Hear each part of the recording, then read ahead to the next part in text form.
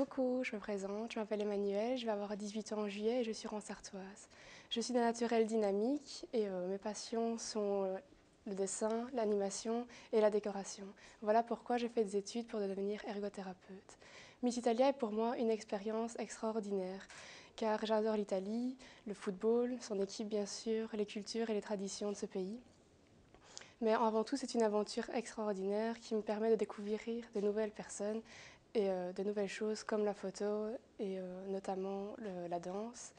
Je compte, sur vous pour, je compte sur vous pour votre soutien, pour voter pour moi au MIC 21 35 42, car effectivement, ça me ferait très plaisir de gagner, mais euh, avant tout, l'important, c'est de participer et je garderai un très très bon souvenir de cette aventure.